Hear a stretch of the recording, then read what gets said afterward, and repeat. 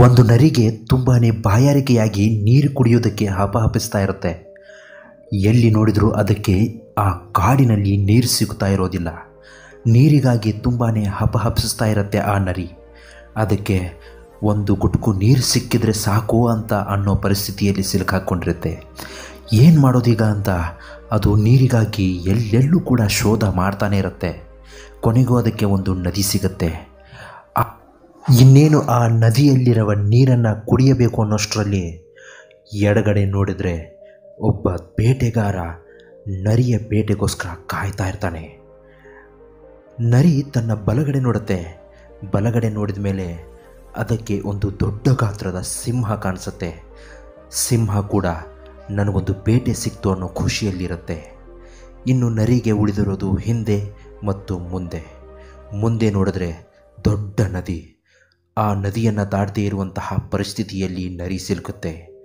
ಇನ್ನು ಹಿಂದೆ ನೋಡುವಷ್ಟರಲ್ಲಿ ಆ ಬೃಹದ್ದಾಕಾರದ ಕಾಡಿಗೆ ಬೆಂಕಿ ತಗುಲುತ್ತೆ. ಆ ಬೆಂಕಿ ಜೋರಾಗಿ ಹಬ್ಬತ್ತೆ. ಇನ್ನೇನು ನರಿ ನಾನು ಸತ್ತೇ ಹೋದೆ ಅನ್ನೋಷ್ಟರಲ್ಲಿ ಅದಕ್ಕೆ ಎಡಗಡೆ ಮತ್ತೊಮ್ಮೆ ಶಿಕಾರಿ ಕಾಣಿಸ್ತಾನೆ. ಬಲಗಡೆ ಸಿಂಹ ಕಾಣಿಸುತ್ತೆ. ಮುಂದೆ ನದಿ ಮತ್ತು ಹಿಂದೆ ಕಾಡಿಗೆ ದೊಡ್ಡದಾದ ಬೆಂಕಿ ಕಾಣಿಸುತ್ತೆ. ಇದೆಲ್ಲದರ ಮಧ್ಯೆ ಅದಕ್ಕೆ ನಾಲ್ಕು ದಿಕ್ಕಿನ ಕಡೆಗೆ ಎಲ್ಲವೂ ಪ್ಯಾಕ್ ಆದಂತಹ ಅನುಭವ ಆಗುತ್ತೆ. ನಾನೇನು ಸಾಯದೆ ನನಗೆ ಬೇರೆ ಯಾವುದೇ ಮಾರ್ಗ ಇಲ್ಲ. ಯಾಕಂದರೆ ನಾಲ್ಕು ದಿಕ್ಕು ಕಡೆಗೆ ಯಮರಾಯ ನನಗೋಸ್ಕರ ಕಾಯ್ತಾ ಇದ್ದಾನೆ. ಇನ್ನು ನನಗೆ ಯಾವುದೇ ಮಾರ್ಗ ಉಳಿದಿಲ್ಲ ಅಂತ ಆ ನರಿ ಮನಸ್ಸಿನಲ್ಲಿ ಗಟ್ಟಿಯಾಗಿ ಒಂದು ನಿರ್ಧಾರಕ್ಕೆ ಬರುತ್ತೆ. ಹೇಗಾದರೂ ಸಾಯಲೇಬೇಕು. ಸಾಯುವವನಿಗೆ ಭಯ ಯಾಕೆ? ಹೊಟ್ಟೆ ತುಂಬ ನೀರು ಕುಡಿದು ಆಮೇಲೆ ಆರಾಮಾಗಿ ಸತ್ತರೆ ಆಯಿತು ಅಂತ ನರಿ ಸ್ವಲ್ಪವೂ ಹೆದರದೆ ನದಿಯ ಕಡೆಗೆ ಬರುತ್ತೆ. ಮುಂದೆ ತಲೆಬಾಗಿ ನೀರು ಕುಡಿಯೋದಕ್ಕೆ ಶುರು ಮಾಡುತ್ತೆ.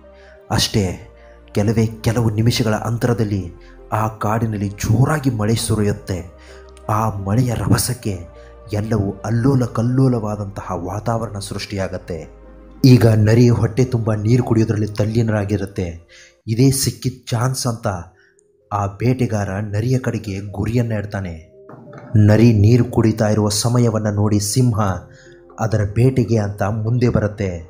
ಹೀಗೆ ಎರಡೂ ಕಡೆಯಿಂದ ನರಿ ಸಾಯುವಂತಹ ಪರಿಸ್ಥಿತಿಯಲ್ಲಿರುವಾಗ ಆ ಜೋರಾದ ಮಳೆಯ ಹನಿಗಳು ಬೇಟೆಗಾರನ ದಿಕ್ಕು ತಪ್ಪಿಸುತ್ತೆ. ಅಂದರೆ ಅವನ ಗುರಿ ನರಿಗೆ ಬೀಳುವ ಬದಲು ಸಿಂಹಕ್ಕೆ ಹೋಗಿ ಬೀಳುತ್ತೆ.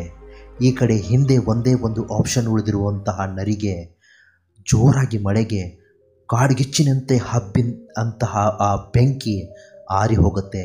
ಹೀಗೆ ನರಿ ಕೊನೆಗೆ ಬದುಕುಳಿಯುತ್ತೆ ಮಾರಲ್ ಆಫ್ ದ ಸ್ಟೋರಿ ಏನು ಹೇಳುತ್ತೆ ಗೊತ್ತಾ ಫ್ರೆಂಡ್ಸ್ ಬದುಕಿನುದ್ದಕ್ಕೂ ನಮಗೆ ನಾಲ್ಕು ಕಡೆಯಿಂದ ಕಷ್ಟಗಳ ಸುರಿಮಳೆ ಬರ್ತಾನೆ ಇರುತ್ತೆ.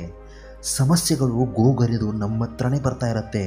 ಆ ದೇವರು ನಮಗೆ ಯಾಕೆ ಕಷ್ಟಗಳನ್ನು ಕೊಡ್ತಾ ಇದ್ದಾನೆ ಅಂತ ಅನಿಸುತ್ತೆ. ಆದರೆ ಅದಕ್ಕೂ ಮಿಗಿಲಾಗಿ ಒಂದು ಸುಂದರವಾದ ಪರಿಹಾರವನ್ನು ಕೂಡ ದೇವರು ಇಟ್ಟೇ ಇರ್ತಾನೆ.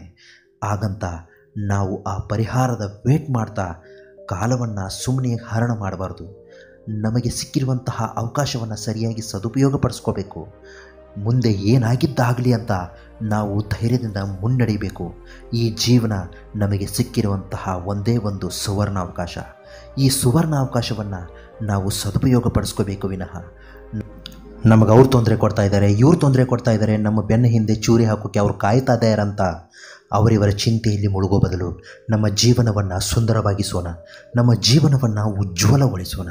ಇಂತಹ ಮತ್ತಷ್ಟು ಮೋಟಿವೇಶನಲ್ ವಿಡಿಯೋಗಳಿಗೋಸ್ಕರ ನಮ್ಮ ಚಾನಲ್ನ ನೀವು ದಯವಿಟ್ಟು ಸಬ್ಸ್ಕ್ರೈಬ್ ಮಾಡ್ಕೊಳ್ಳೋದನ್ನು ಮಾತ್ರ ಮರಿಬೇಡಿ ಫ್ರೆಂಡ್ಸ್ ನಮಸ್ಕಾರ, ಎಲ್ರಿಗೂ ಒಳ್ಳೆಯದಾಗಲಿ